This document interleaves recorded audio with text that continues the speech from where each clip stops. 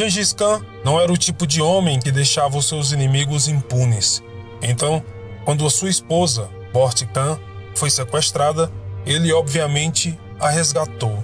O infame senhor da guerra, no entanto, esperou vários meses antes de lançar sua operação de resgate, um atraso que teria sérias repercussões.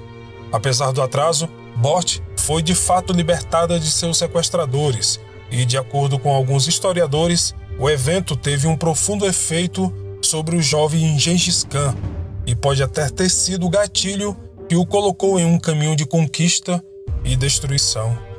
Gengis Khan ainda era conhecido como Temujin quando ele se casou com Bort por volta de 1200. Os dois ainda eram adolescentes e o casamento deles ocorreu em um cenário de guerra e tensa rivalidade entre os clãs da Mongólia. Pouco depois de casarem, Bort foi sequestrada por uma tribo rival. Ela foi tomada como esposa pelo líder daquela tribo e mantida lá oito meses, até que Temujin lançou sua missão de resgate. Dizem que ela deu à luz a um filho apenas um mês depois de ser resgatada. Inevitavelmente, haviam questões sobre a paternidade da criança e o menino nunca seria considerado o legítimo herdeiro do que se tornaria o Império Mongol.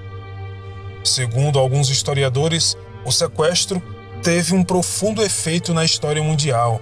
Temujin, ou Gengis Khan, tornou-se determinado a pôr fim aos conflitos entre as diferentes tribos.